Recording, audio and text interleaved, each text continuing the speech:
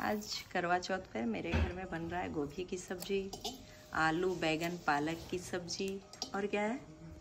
और कढ़ी है। कढ़ी भी बनेगा और मटर पनीर। मटर पनीर बनेगा और मेरे पति देव जी बनाएँगे आलू बैगन पालक की सब्ज़ी। मैं बनाऊँगी गोभी पनीर मटर चना दाल की पूड़ी खीर।